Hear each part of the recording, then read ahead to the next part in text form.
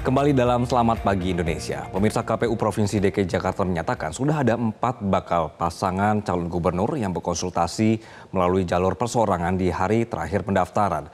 Namun hingga minggu sore, baru satu pasangan yang tengah melengkapi berkasnya.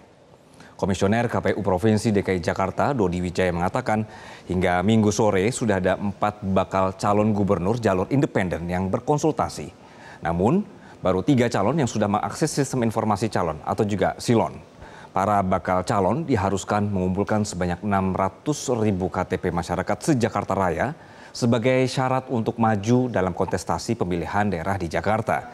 Hingga saat ini baru pasangan bakal calon Dharma Pongrekun dan juga Erkun Wardana yang melengkapi berkas cukup banyak dan siap untuk datang ke kantor KPU DKI Jakarta lebih awal. Sedangkan untuk calon Sudirman Said, Nur Fajriansah dan juga Pompida Hidayatullah ini masih dalam tahap konfirmasi kepada masing-masing tim pasangan bakal calon. Sejumlah persyaratan di antaranya adalah dukungan minimal pemilih yang termuat dalam DPT pemilu terakhir yaitu 618.968 dukungan dan harus berasal dari empat kabupaten kota.